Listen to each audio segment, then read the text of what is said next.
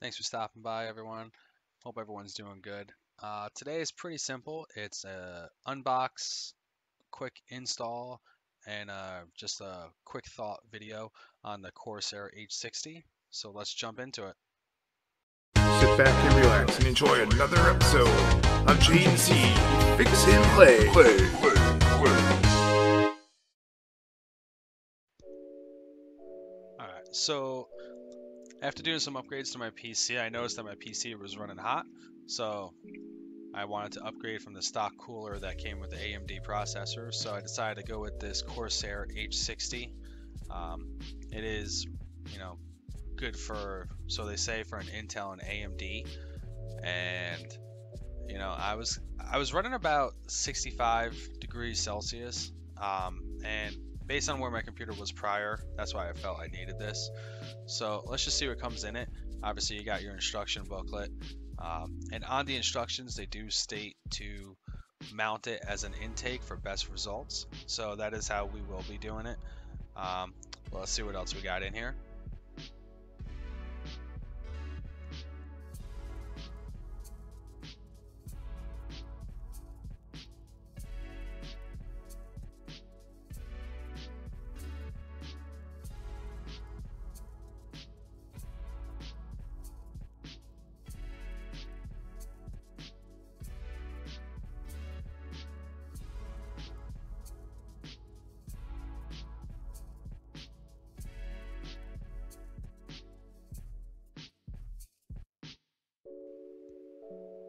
So inside the box, you obviously have one fan, you have the uh, radiator with the pump and your hoses pre-attached, and then you're gonna have a couple different brackets, one for AMD, one for Intel, and all the hardware that you're gonna need.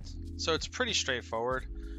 Um, so only thing left to do now is to try installing it, and we're gonna be using the AMD brackets. So let's go into it.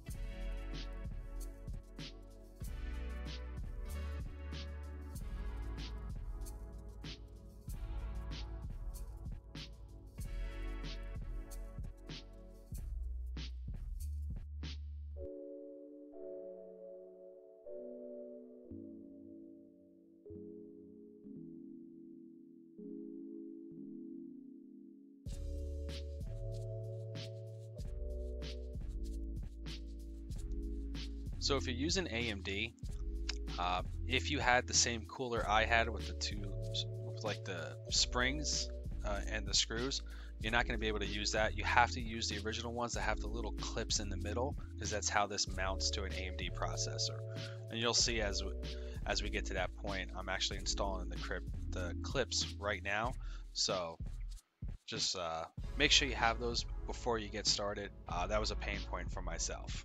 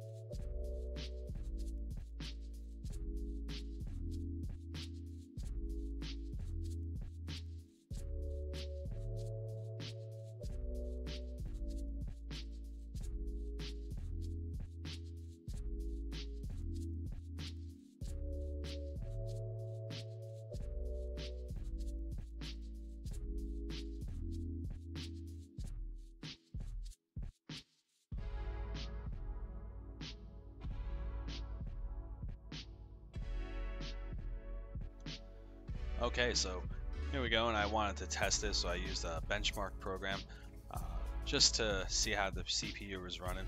And as you can see, we got it down. It did spike up to you know 60 every now and then. Uh, underneath, I, I'm guessing that was like a peak load for the system, but generally speaking, it was below 60 degrees um, and dipped down into the 40s.